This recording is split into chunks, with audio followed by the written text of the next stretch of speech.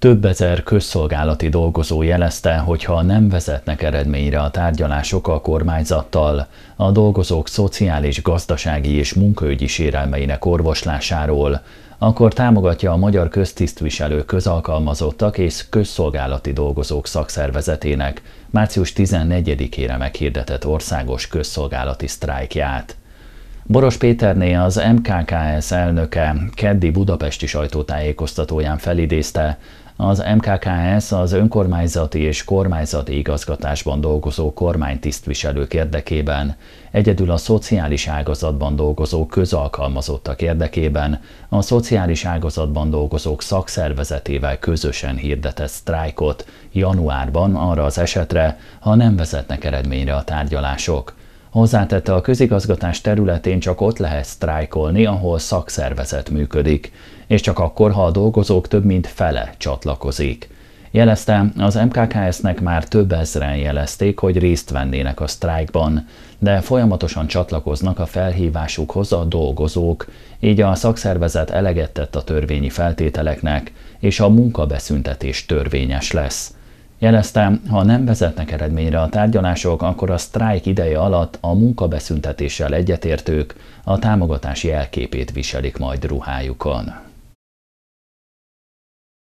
A legalább három gyermeket nevelő családok két és fél millió forint vissza nem térítendő támogatásban részesülhetnek a legalább hétüléses új gépkocsik vásárlásakor. Ez az egyik intézkedése a 7 pontos családvédelmi akciótervnek, amelyet a miniszterelnök jelentett be évértékelő beszédében. A társadalmi visszajelzések alapján döntöttek a csomagról, közöltem Beneda Attila családpolitikáért felelős helyettes államtitkár és hozzátette, folyamatosan vizsgálják a társadalmi nehézségeket és a problémákat. A visszajelzésekből kiderült, hogy a negyedik gyermek vállalását sokszor az akadályozza, hogy egy hagyományos autóban már nem fér el a teljes család. Hozzátette, egy új autó azonban, főleg a hét személyesek komoly költségeket jelentenek, ezért született meg az a döntés, amelynek értelmében két és fél millió forinttal támogatják az új autóvásárlásokat, hangsúlyozta Beneda Attila az m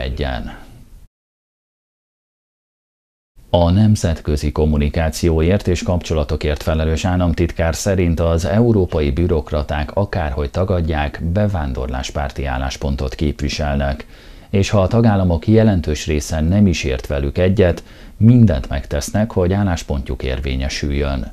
Kovács Zoltán kedden a Kossuth Rádió műsorában azt mondta, meg is büntetik azokat az országokat, amelyek nem értenek velük egyet – Például megvonják a fejlesztési támogatásokat, és 270 ezer eurós büntetés szabnak királyuk, tette hozzá. Közölte, az Európai Bizottság és egyes képviselőinek reakciója arról árulkodik, hogy Magyarország a tájékoztatási kampányban olyan témákat érintett, amelyek valósak. Szerinte nem igaz, hogy az Európai Bizottság csak a tagállamokkal hoz döntést, ugyanis nem minden döntéshez van szüksége az Európai Tanács jóváhagyására, és az egyes tagállamok egyetértésére. A bizottság ezeket a kiskapukat kihasználja és befolyásolja a migráció alakulását, fogalmazott az államtitkár. Kovács Zoltán kitért arra is, az európai bürokraták a migránskártyákra eddig több mint 110 millió eurót fordítottak, idén januárban pedig 60 ezer embernek utaltak pénzt. Erős hazai védelmi és biztonsági ipar nélkül nincs erős hadsereg, jelentette ki Szabó István honvédelmi ügyekért felelős államtitkár kedden Budapesten egy biztonsági konferencián. Az államtitkár azt mondta, a lehető legnagyobb mértékben csökkenteni kell a Magyar Honvédség és a rendvédelmi szervek külföldi beszállítóktól való függőségét. Ezt a célt szolgálja az a fegyvergyár is, ahol cseh licensz alapján gyártanak fegyvereket magyar fegyveres és rendvédelmi szerveknek. Ezzel együtt van még teendő, tette hozzá Szabó István, hangsúlyozva, a tényleges igények alapján innovatív megoldásokkal kell tervezni a jövőt, építeni a magyar haderőt. Az államtitkár felhívta a figyelmet arra, hogy az elmúlt öt évben is nagyot változott a világ, számos új globális kihívás jelent meg. Mint mondta, mindemellett a technológia változásai is napról napra tapasztalhatók. Példaként említettem, hogy a kibertérben akár egy nap alatt is több száz támadás érhet egy országot. Hangsúlyozta, a biztonság egyik záloga a magyar honvédség. Ahhoz, hogy a biztonságot minél magasabb szinten tudják garantálni, jól felszerelt, kiképzett és motivált katonákra és az őket támogató hátországra van szükség.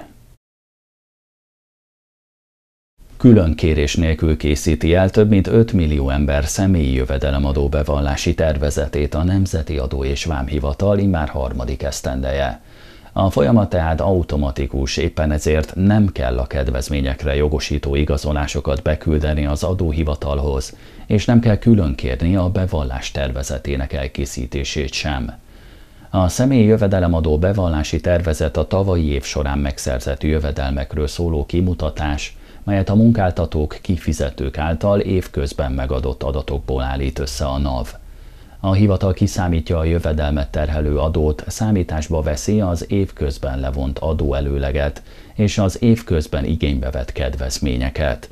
Akinek nincs ügyfélkapuja, az adóbevallási tervezetének postázását március 18-án éjfélig kérheti, akár SMS-ben is. Az elkészült tervezeteket a NAV tértivevényesen április 30-áig küldi el postán az igénylőknek. Közölték azoknak, akik a tervezet adataival egyetértenek és nem kell azt kiegészíteniük egyéb olyan adattal, amely az adókötelezettséget érinti, nem kell tenniük semmit.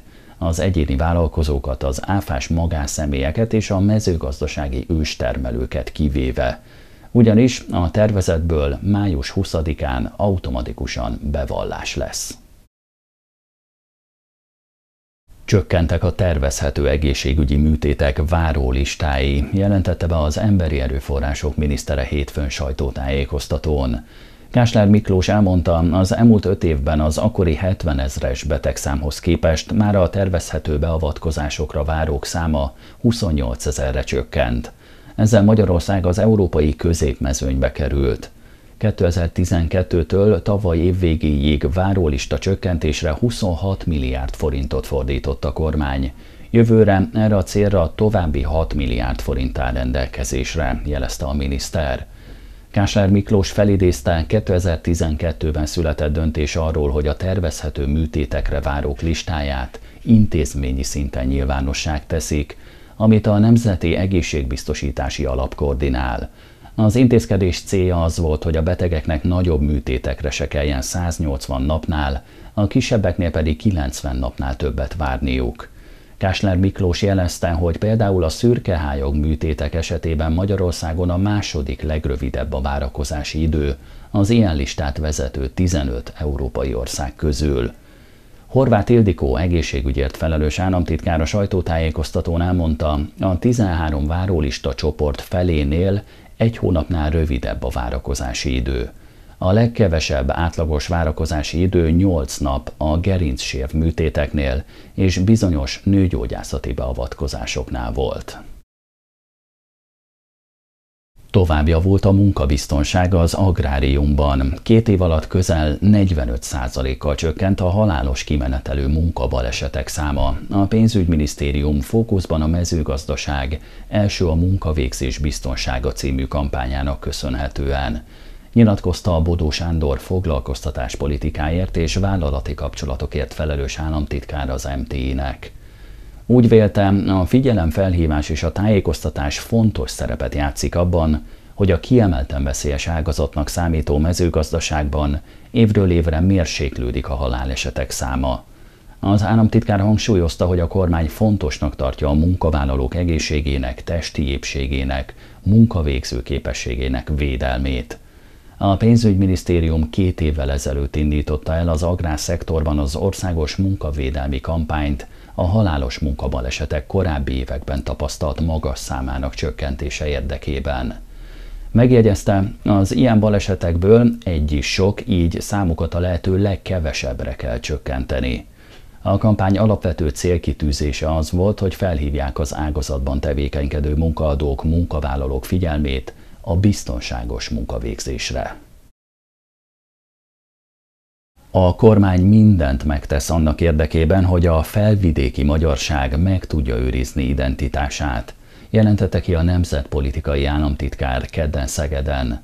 Potápi Árpád János a csehszlovákiai magyarság megpróbáltatásai vallási, politikai, kulturális téren 1938-2010 című nemzetközi konferencia megnyitóján azt mondta, a kormány a történelmi egyházakkal, a stratégiai szövetséges magyar párttal, a civil szervezetekkel olyan kapcsolatrendszer tart fenn, amelynek célja, hogy a felvidéki magyarság meg tudja őrizni nyelvét, kultúráját, identitását. A politikus fontosnak nevezte a kultúra, az oktatás, az egyházak, a szociális szféra erősítését. Példaként említette a Pozsonyi szakkollégium létrehozását, illetve a Kárpát-medencei óvodafejlesztési programot, amely kifejezetten jól halad a felvidéken. Elsősorban a református, kisebb mértékben a katolikus egyházra és az önkormányzatokra támaszkodva. Jelentős civil mozgalmak is elindultak, melynek nem csak a felvidéken példamutatóak, hanem az egész Kárpát-medencében, mondta Pottápi Árpád János, kiemelve a kétnyelvűség elfogadtatása érdekében indított igen annó kezdeményezést. Március 1-én éjfélig kell eljutatniuk az esedékes díjrészleteket régi vagy új biztosítójukhoz azoknak, akik január 1-ével új kötelező gépjármű felelősségbiztosítási szerződést kötöttek, hívta fel a figyelmet a Magyar Biztosítók Szövetsége közleményében. Mivel a 2010 után vásárolt gépjárművek KGFP szerződésének évfordulója már nem január 1 -e, hanem a szerződés megkötésének dátuma évről évre gyengül az évvégi kötelező kampány intenzitása. A tavaly novemberi kampányidőszak után január 1-ével több mint 135 ezer KGFP szerződés szűnt meg, szemben a 2018. január 1-ével megszűnt 160 ezerrel. A társaságok az újonnan forgalomba helyezett gépjárművekkel együtt 136 ezer új szerződést kötöttek meg január 1-ével. A jogszabály szerint legkésőbb a KGFBD esedékességétől számított 60 napos türelmi idő végéig kell beérkeznie a biztosító társasághoz az aktuális díjrészletnek. Ez a január 1 évfordulós szerződéseknél március 1 -e. hívta fel a figyelmet a Magyar Biztosítók Szövetsége. Minél előbb kötelezővé kellene tenni Magyarországon, hogy a forgalmazott motorbenzin 10%-a bioetanol legyen, hívta fel a világgazdaság figyelmét a Magyar Bioetanol Szövetség. A lap keddi kiadásában a szervezet elnöke és alelnöke Hédemeter és Hódos Ferenc emlékeztetett arra, hogy bár az 5%-os bekeverési arány már évekkel ezelőtt megvalósult, az E10-es termékek bevezetését a szabályozás csak megengedi, de nem írja elő, pedig az uniós elvárások miatt célszerű lenne egy év alatt megkétszerezni az arányt. A 2021-ben életbe lépő uniós elvárások szerint 2030-ban minden tagországban akkorra lehet az üzemanyag bioetanol tartalma, mint 2020-ban, de legfeljebb 7 százalék. A hazai arány 5% alatti, de bőven van bioetanol előállítására használható, eladatlan kukorica, és nagyok a gyártókapacitások is, olvasható a világgazdaságban. A régebbi járművekbe viszont kockázatos, sok etanol tartalmazó üzemanyagot tölteni, amelynek előállításához a finomítókban műszaki fejlesztésre is szükség lenne, tették hozzá. 100 millióra becsülik a kommunista diktatúrák halálos áldozatainak számát a világon, hazánkban is százezrek vesztették életüket. Ennél is többen voltak azok, akiket a diktatúra hétköznapi valósága testileg és lelkileg megnyomorított. Hétfőn volt a kommunizmus áldozatainak emléknapja, Közép- és Kelet-Európában elsőként Magyarország döntött arról, hogy legyen emléknapja a kommunizmus áldozatainak. Az országgyűlés 2000. június 13-án elfogadott határozatát követően 2001-ben emlékeztek meg először az áldozatokról az országgyűlésben és az ország középiskoláiban. Azóta minden évben tartanak emlékünnepségeket február 25-én. A megszálló szovjet hatóságok 1947-ben ezen a napon tartóztatták le jogellenesen, majd hurcolták a Szovjetunióba Kovács Bélát, a független kisgazdapárt főtitkárát. A mentelmi jogától megfosztott képviselőt bírósági tárgyalás nélkül 25 év kényszermunkára ítélték. Szimbolikusan a kisgazda politikus törvénytelen letartóztatásával indult el, az a csak nem 50 éves folyamat, amelyben a kommunista párt szisztematikusan kiírtotta a társadalom azon tagjait, akik bármilyen kritikával illették a rendszert, netán ellenszegültek annak. Több mint egy évtizede már, hogy reneszánsz nappal köszöntik a tavaszt a Szőnyi Petőfi Sándor művelődési házban. Az épület nagy tervét idén is kézművesek népesítették be az elmúlt hét végén. Az érdeklődők megismerkedhettek a fafaragás, a hálókötés, a fazekasság, a csipkeverés, a szövés, a gyapjúhímzés, valamint a csuhé és babakészítő mesterségek fogásaival. Az első ilyen jellegű rendezvényünket a reneszánsz évében 2008-ban szerveztük meg, azóta folyamatosan próbáljuk bővíteni a programot. Idén 20 kézműves hozta el a portékáit. Ez a minden esztendőben visszatérő kulturális esemény az első alkalom az évben, hogy a hosszú téli hónapok után ismét találkozhatnak és bemutatót tarthatnak a Komárom-Esztergom megyei Népművészeti Egyesület alkotói, tudtuk meg Nyíkus Annától. Ezúttal a Foltvarró Klub és a Praktika Klub tagjait is meghívtuk, népszerűsítettük a komáromi ládákat, a tavaszváró esemény előfutára pedig Stancsik Zsuzsa néhány napja nyílt olajfestmény kiállítása volt, tette hozzá a főszervező. Csütörtökön sok napsütésre számíthatunk, tovább melegszik az idő, csapadékra nem kell készülni. A délnyugati szél élénk lesz, a legmagasabb nappali hőmérséklet 11 és 16 fok között alakul. Pénteken észak felől fokozatosan megnövekszik a felhőzet, egy-egy futózápor is kialakulhat. Élénk lesz az északnyugati szél, a hőmérséklet csúcsértéke 9 és 14 fok között alakul. Szombaton változóan időnként erősen felhős lesz az ég, megerősödik az északnyugati szél, a legmagasabb nappali hőmérséklet 6 és 11 fok között alakul. Vasárnap sok napsütés várható, csapadékra nem kell készülni, változó irányú szél lesz, 5 és 10 fokra számíthatunk. A jövő hét elején napos idő lesz, kevés felhővel, erős lesz a déli szél, 11 és 16 fokra melegszik majd a levegő.